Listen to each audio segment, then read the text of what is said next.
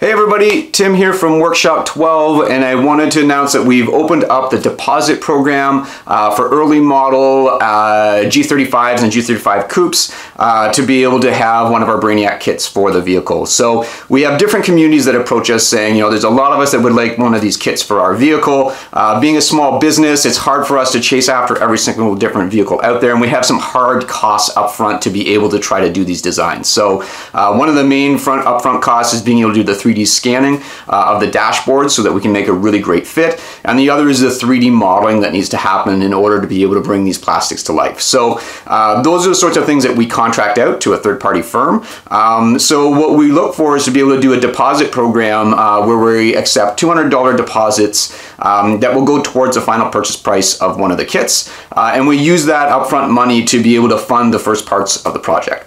So we don't mind putting in all of our time and effort and research to being able to figure out things uh, from climate control, from you know any of the electronics that we need to be able to do and the fit and finish and all those things. It's really for us is, is really the hard costs that we have. So those are why we've opened up the deposit program. Um, if you take a look on the website, you'll see all the different phases that we go through. We make sure that we collaborate back and forth with the community, making sure that it's what you guys want. Uh, and we look to try to deliver something uh, that's really, really cool. So uh, that's it. Just wanted to come and say, you know, uh, thank you for your support, and uh, hopefully we see uh, the deposits come in and we can kick off this project as quickly as possible.